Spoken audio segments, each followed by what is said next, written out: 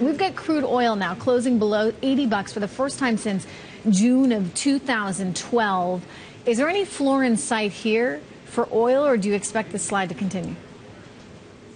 Well, basically, if oil falls below 75 to 70 dollars, I don't think it will stay there because a lot of production will be cut and exploration will be cut and actually some companies will get into serious uh, trouble financially.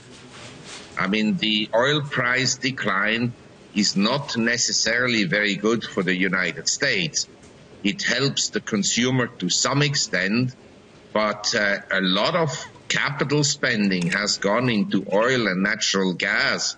And some of these companies are already today cash flow negative. So if oil prices went lower, it may actually have an adverse impact on the U.S. economy.